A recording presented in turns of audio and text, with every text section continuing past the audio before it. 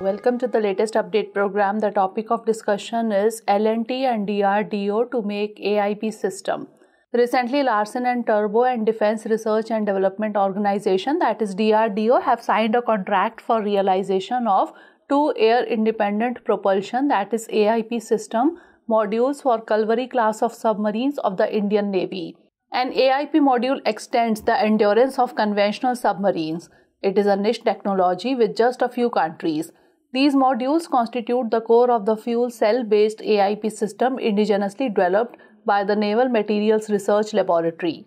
The manufacturing, integration, and factory acceptance trials of the EMs would be undertaken in its AM Naik Heavy Engineering Complex at Surat.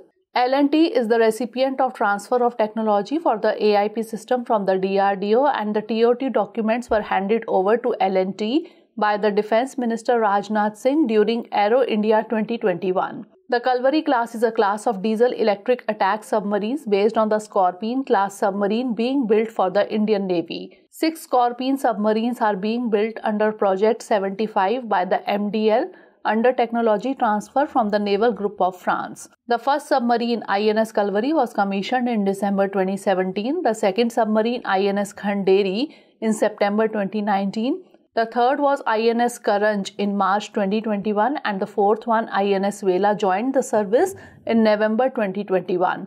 The fifth one INS Vagir joined in January 2023 and the sixth the INS Vagsheer is expected to be delivered by the end of 2023.